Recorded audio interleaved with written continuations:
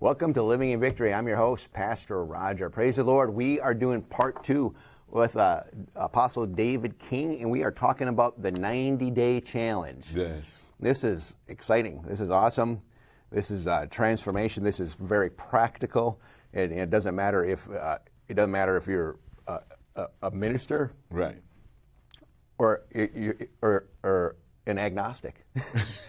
I mean, really, let's be honest here. Yeah. You're going to take this 90 day challenge. It's going to change your life. It's going to change your life. you know, and, and if you're you know if you're a minister, this is something that you can take with you. You can you can go through some of this training. Yes. And now you've got a tool to effectively bring, you know, what Romans 12, 2 talks about, the renewing of the mind. Yes. So we can see the transformation of people's lives. Right. You know, and, and if you haven't watched part one of this, I would really encourage you to watch part one. We shared our, some some testimonies about the power eh, the power of uh, what God has put in your hands, what God's put in your heart and your mind. And this 90 day challenge is something that you've been using for years. God gave you this outline to see transformation in your people, Yes. and to be able to see lives change. But even you've been using it for years. But because of all the, the lockdowns and a lot of the things going on, uh, with not being able to, to do a lot of the face-to-face ministry you, ha- you have been doing for you know Yes. 20 some Yeah. years, um, all of a sudden you started using like Zoom video conferencing, Yeah. video video conferencing to do the 90-day challenge. Yes. And as you saw, uh, as we've all seen in ministry, the unprecedented so, the rates of like depression and anxiety and fear and suicidal thoughts and even suicides and drug addiction and all these things soaring. God gave you a way, gave you inspiration to get this out. Now, now you have a manual. Yes. this the the 90 day challenge manual right here that God's inspired you to put together. Put together, So this this this tool that you've been given by God that He's developed in you and used through you for a, number of years now all now suddenly Yes. has become packaged in a manner that it can be you know we talked about Genesis 128 be fruitful and multiply. Multiply, yes. And that's what God's having you do with this. And this Oh, is so exciting. Yes. And it's also, you know, I like to tell people, you know, when, when people try to sell things like on TV and stuff like that, you know, they'll say to you, this has been tested and proven.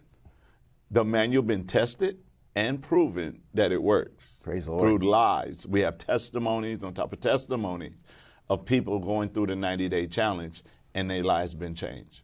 Mm, amen. You know, so it's been tested and proven that it works. Praise the Lord. And you know, and it's it's what this what this 90 day challenge is is it gets people into the word, Into the word. pushes them into the word and keeps them in the word. Yes. And within that 90 days, man, Yeah. they, they are transformed. They transform. they have no choice but to be. If they if they like we talked about in the in the first segment, if they if they are fat, if they're faithful, available, and teachable, they're going to be transformed. They they will receive more knowledge and experience of God in their lives than they did just sitting in church. Yeah, and that's the, you know, unfortunately, that is such a common thing is people, they love God, they're genuinely born again, they have, you know, they've made Lord, you know, Jesus their personal Savior, but yet they just haven't engaged at that level to see the real mm. transformation occur. And until you know, until people engage in that level to, of, of the Word, the Spirit of God is limited in what the Spirit of God can reveal. Right. You know, because this, you know, faith comes through hearing, and hearing comes through the Word. And if the Spirit is telling you something that's in the Word, but you don't know it's in the Word, Right. then you don't have faith for it. You're like, well, you- that must be don't. my imagination. Right. You know, oh, that must. Well, I don't know why why, why I'm thinking that way. Well, the Spirit of God is bringing you revelation. He's trying to bring you revelation, and He's ministering the Word from the inside of you, but you're not getting it because your mind has not yet been renewed to what the Word of God actually says. You know, and that's like what James in James chapter one, what James warns about. He says, hey.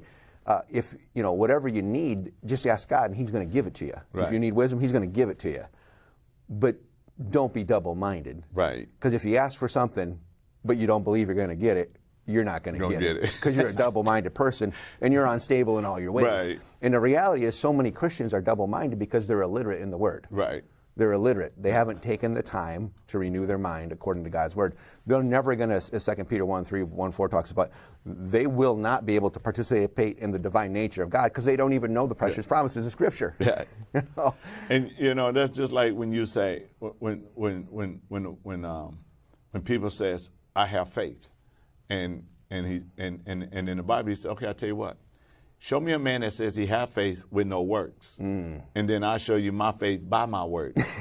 so the ninety days makes them work, Yeah. so they can have faith Yeah, I love it. you know I love it. and and and a lot of times we was you know and i share with people all the time uh, knowledge is information Hmm. okay but wisdom is application Oh, that's good. so you can have knowledge and you and, and you have the information of god you can even have understanding you can comprehend who god is. But if you you will never have wisdom if you never put it to into play. Mm. You know? And in in the manual my motto says to see is to forget to hear is to remember but to do is to understand. Oh, that's good stuff. you know? So in that 90 days that's what they do. They have to do Yeah. you know you're not just hearing you have to do.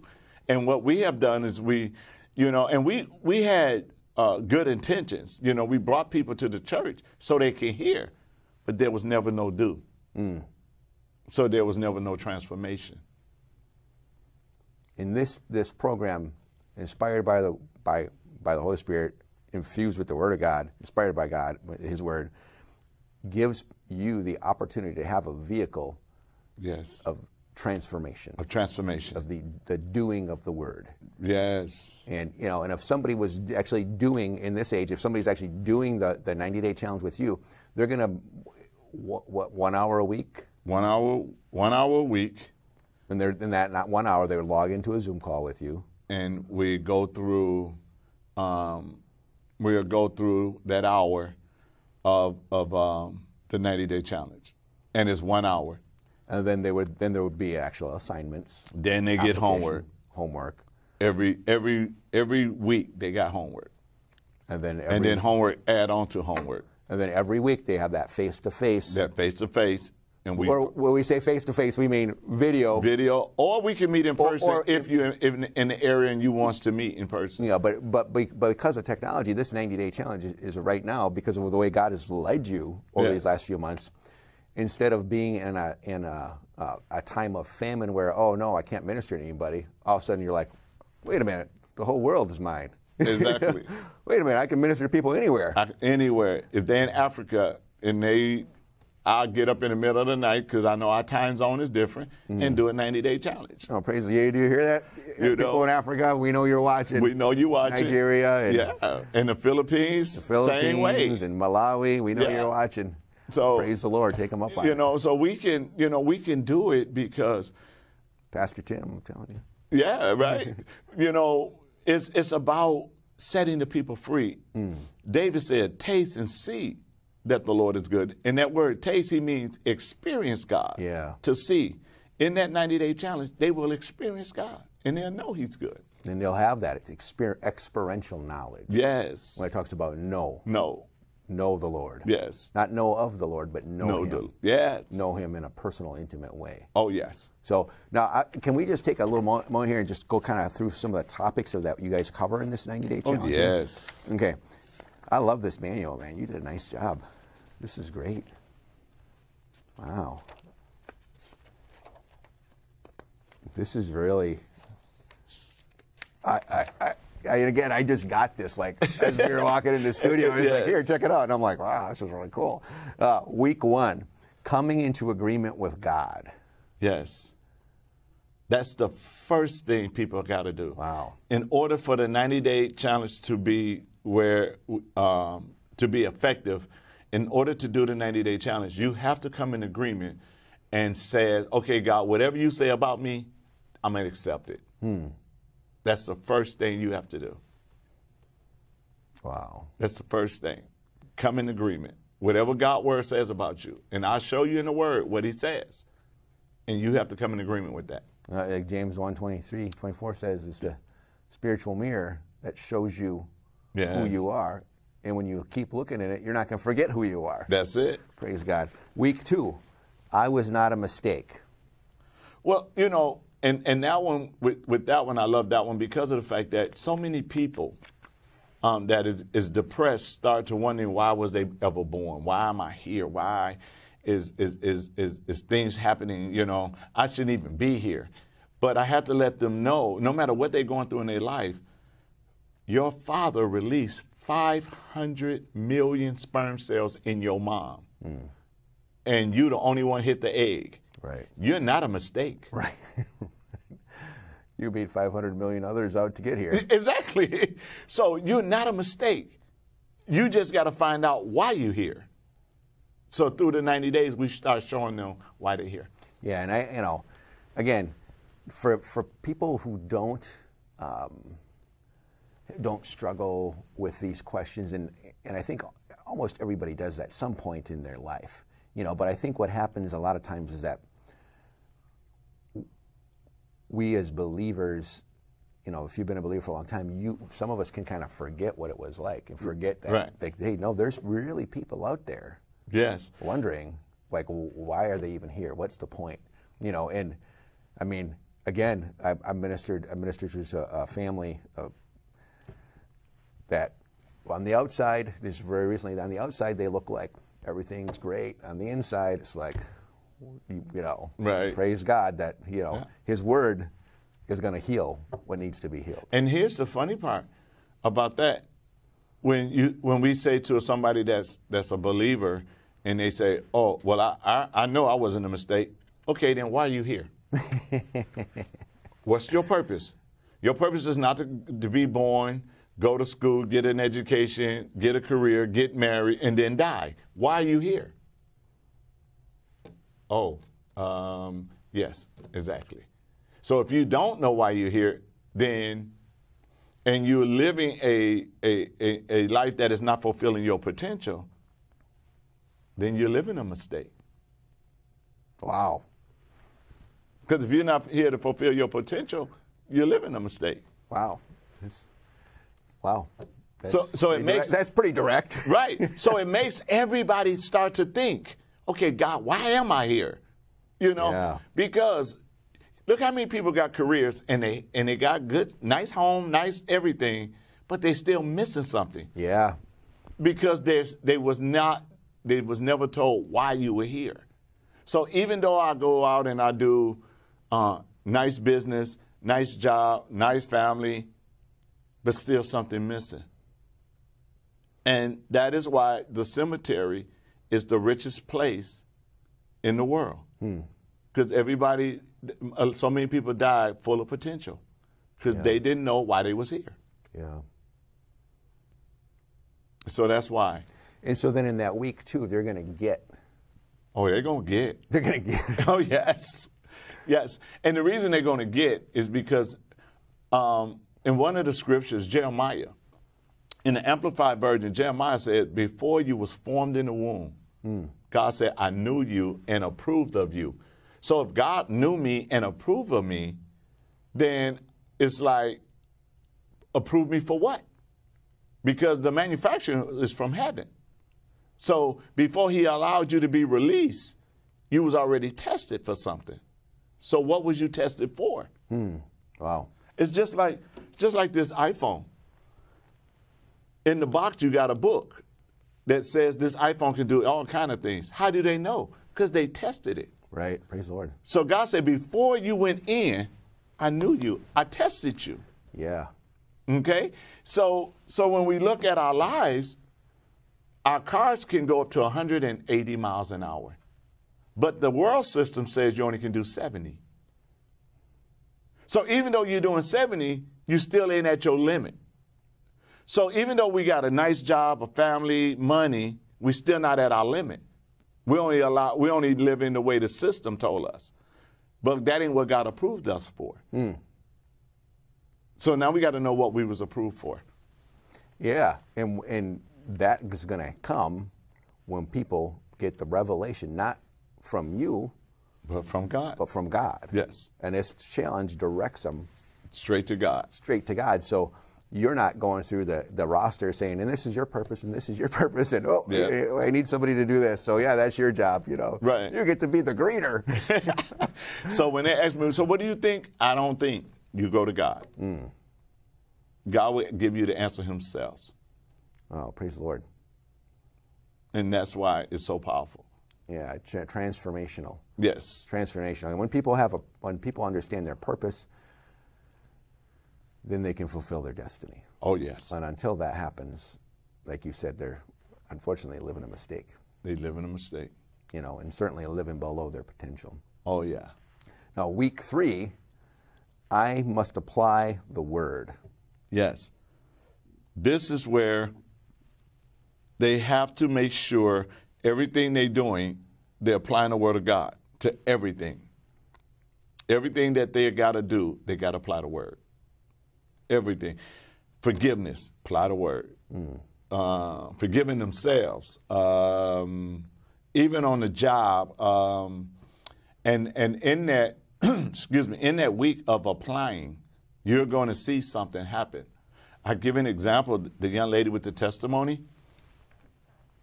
She was working for uh, Olive Garden, and I said to her, "What I need you to do is pray over your tables, speak the word of God over your tables." And I and I and I shared it with her scriptures, and she went and she spoke over her tables and people started to, uh, by her week one agreeing who God says she was, to week three applying it. I told her, you're going to speak that your name is going to be famous and distinguished. That when customers come in, they're going to start asking for you. When she went to week three and started applying, customers started asking for her. Wow. So the moment she started applying, she started to see, oh, this is real. Oh my God, it works. So applying the word is very important. Praise the Lord. Yeah. Uh, so this is where you have that. It's right here in the manual. To hear is to forget, to see is to remember, and to do is to understand. Yes. And it's the doing, It's the doing. It's the application. yeah, it's the application of God's word. You will never understand the word of God until you apply it. Until you apply it. You'll never understand it. And then um, the transformation begins to take root. You know, the word of God takes root immediately. It takes root immediately. But by the time they get through with the homework in week two to week three, then that's when their um, their transformation really starts to take off. Hmm. Yes. Wow. In week four, I am my biggest enemy. Yes. And the reason I'm my biggest enemy, because a lot of times we don't see ourselves the way God sees us.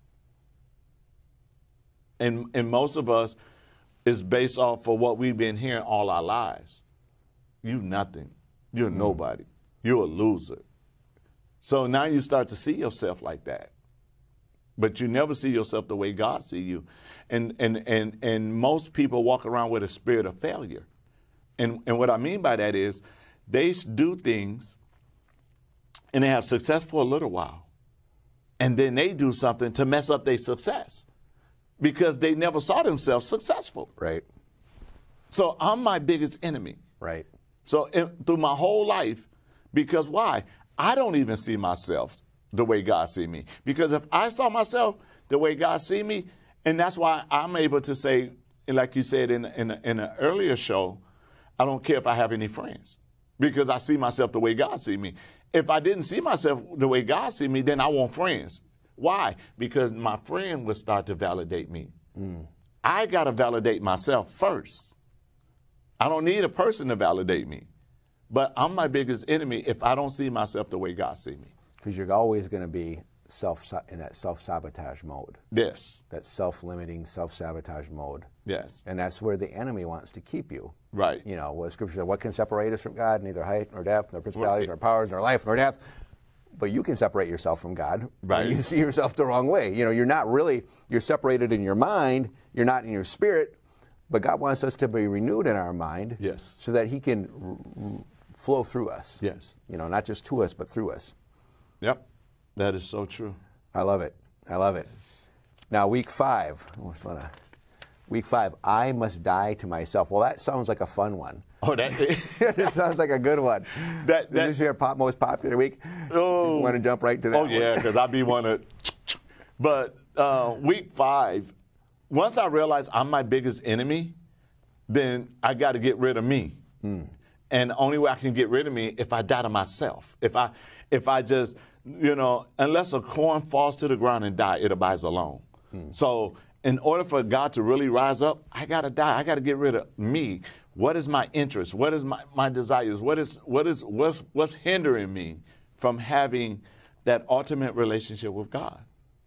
My flesh. My flesh stops everything. Why? Because my flesh thinks too much. My flesh want everything to make sense. With God, everything don't make sense. That's why faith is there. You mm. have to have faith in God. You can't wait to see it to have faith. But yo, but but if I don't die to me, then I'm not going to see. I will always look from the eyes. How how should I say this? I will always look from the eyes of Clark Kent, not Superman. Mm. Gotcha. because Clark Kent was normal. Superman was supernatural.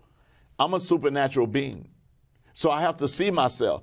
And I can't see the supernatural being in me until I die. Well, like Scripture says, you you, you got to stop thinking like mere mortals. Right. You know, and, and a lot of times people think when we talk about dying to flesh, like we're saying, "Oh, you're a Christian now. You can't have any fun anymore." You know, Yes. like Christians are like the least. And unfortunately, a lot of times Christians are like the least happy people you meet. But you know, but that's not because they died to themselves. That's because they're believing lies about themselves. Right. You know, when you really, you know, like Colossians chapter three says, you know, you have died with Christ. Right. It's a good thing It's a good thing. because now you're seated. You got to realize you're seated in heavenly places, and it's no longer you that live, but it's uh, Christ in you. Yes. And that's when you switch from Clark Kent to Superman. Exactly. And then when, when, when I die to self, then the angels can come and minister unto me.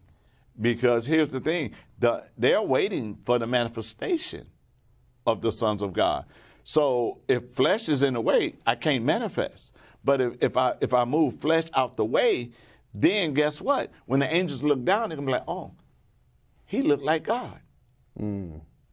He's not talking like he's poor. He's not talking sickly. He's not talking broke. Because why? That part of me died.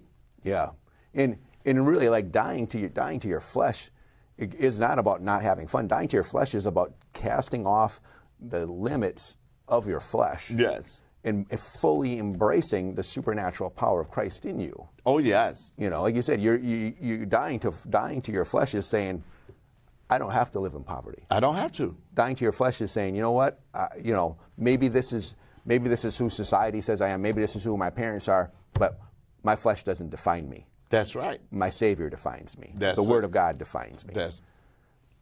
You can go ahead and teach this man. That- but that that is so true though, and and and you know, and the hardest part is us seeing ourselves because here's the thing about it. Remember when God called Jeremiah, and when and when when God called Jeremiah, one of the things that happened was this. Uh, God told Jeremiah, I approved of you. God told Jeremiah, I have appointed you. And Jeremiah still said, But I'm a child. He, he went from seeing himself the way God just say how he saw him to I'm a child. One of our biggest problems is we always see ourselves from our downfalls. You know, that's how we see ourselves from our downfalls. We see ourselves from our shortcomings. I can't do that for God. I ain't got a degree. If God told you to do it, that means He already qualified you to do it. Quit trying to holler for a degree and go do it. Right, You know, and that's what people are doing. right, right. You know, and that's really, you know, setting people free to be all that God's called them to be. Yes. Setting people free from from their flesh, from from their from their carnal limitations, to be free to fully embrace Yes. everything that the, everything the Word of God says about them. Everything. You know, because until we can get past our ourselves, God can't get through us. That's right. He can't. You know, and we got to get we got to get beyond that self-limiting. Got to get up beyond that self-doubting, and we have to see the people of God rise up. You Yes. know, And we can't be that tree of life if we still that seed. Hmm. So until we die, then that tree can come out of us. But if we don't die, that tree can never come forth. Praise the Lord.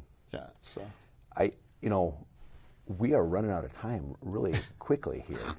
I'm, I'm a little surprised. I happened to look at the clock and I'm like, my goodness, we only have like three minutes left. Right. How did this happen? I thought we were going to get through this, but this is really good stuff. Will, will you come back and we can do one more? Yes. I, I just want to, you know, I want to, you know, again, and, and as we're going through this, like we're, we're just touching the topics Right. very I, just just because it's so such good information. I just wanted you guys to hear what is in this program, but we're we're just touching it. We're For somebody really to uh, fully embrace this training program, they need to, at a minimum, uh, contact you, reach out to you, Yes. get the manual, sign up for that 90-minute uh, crash course on how to apply The manual. the manual in Yes. conjunction with the Word of God and see that breakthrough happen. You know, and but I, I truly believe there's going to be a lot of people that are going to you know, I, I, I are going to say, you know, I want to go through this course with you. Yeah. I want to take. The, I, I, I, wanna- see that too. You know, and then maybe after I take the course, then I'll go through the. Uh, then I'll s- can turn around and start training other people Right. here. You know, um, but for for you pastors and ministers that watch this show, you know, there's an opportunity here to get get a tool in your hand that you can apply and that you can use for your people. And you know, if if somebody's really well versed and really confident, and they say, you know what, I want the manual, I want to do that crash course, 90 minute training session. I believe I'm going to be able to take this manual, uh, apply the Word of God in a systematized way that's going to bring that 90 days transformation. Praise God, that's an option for you. Yes. You know, um, and I'm I'm you know the reason why we're doing this show is because I have seen firsthand, Yes. like literally, you know, which which is like so such a God setup. Right. You know, that we we talked about this in the first show. I've seen firsthand the transformation Yes. from someone walking in date night number one and me seeing them to and being suicidal to saying, you know what, if this doesn't work in 90 days, I'm just going to kill myself. Right. And I've seen that transformation in that person. Like, Right. Wow, praise God. This 90, this, you know, I'm not just listening to you telling me how great it is. Even if I was, I'd, still, I'd believe you because Right. you've got a track record with me. But I've seen the fruit Right. of what, what this 90 day challenge does. Yes. You know, and I've seen, and it's like, it's awesome because we can see people sit in church for years Yes.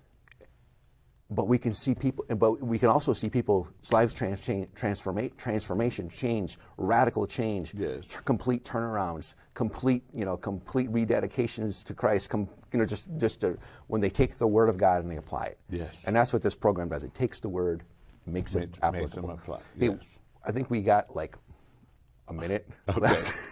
My clock is right here. Um, would you close this in prayer one more time? We're going to come back with, with a third part. We're going to finish up this manual, going through it. We're not finishing, we're just touching on the topics, man. There's so much gold here. But if you would just close this in prayer, that would be awesome. All right. Father, we just thank you for this show. We thank you for everyone that's watching, no matter where they're at around the world. And we thank you, Lord, that you have put a tool that we can touch lives from anywhere in the earth, just being at home, being in our office, or wherever we may be. And I pray, Lord, that everyone that's watching and listening who is at the end of their rope, that they would contact us, that we would be able to help them get to know you. In Jesus' name, amen. Amen. And if you want to reach out to uh, Apostle King, that information has been on the screen throughout the show the, the phone number, the email address. Please reach out to him and get this. Until next time, keep living in victory. We love you. We'll be back with part three in Jesus' name.